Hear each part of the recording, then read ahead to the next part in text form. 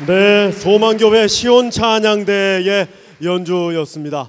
아, 우리가 아무리 어려운 일을 당해도 주님만 함께 하시면 우리 삶이 우리 평생이 평안해질 수 있다는 것을 찬양했고요. 아, 그리고 바로크 그 시대의 바하와 헨델 두 거장의 명성가로 함께 하셨습니다. 여러분 다시 한번 시온 찬양대에서 박수 보내 주시기 바랍니다.